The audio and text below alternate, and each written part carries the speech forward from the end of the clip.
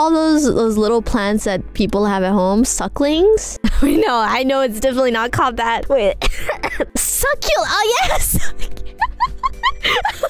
I was like, wait, what was that word again? It, was, it had the word like it. Wait, what? succulents, yes. I saw someone like on Twitter, I think a couple days ago, like posting a short video about how they left their house and all their succulents died or something. I'm just like, so you call them succulents? Interesting. That was the first time I saw that word. It's such an interesting word. Succulents.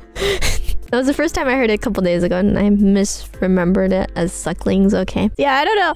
There's something about that word that just makes me go.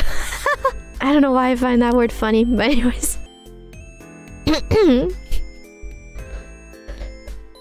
哼啊。